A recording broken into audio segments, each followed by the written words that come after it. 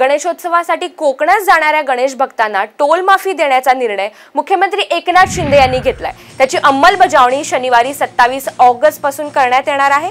मुंबई बँगलोर राष्ट्रीय महामार्ग मुंबई गोवा राष्ट्रीय महामार्ग यावरील आणि इतर सार्वजनिक बांधकाम विभागांच्या रस्त्यांवरील टोल नाक्यांवर ही सवलत अकरा सप्टेंबर पर्यंत असणार आहे.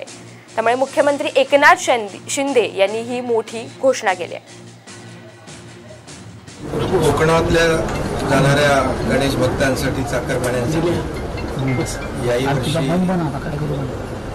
टोल माफी करण्याचा निर्णय राज्य सरकारने घेतलेला आहे.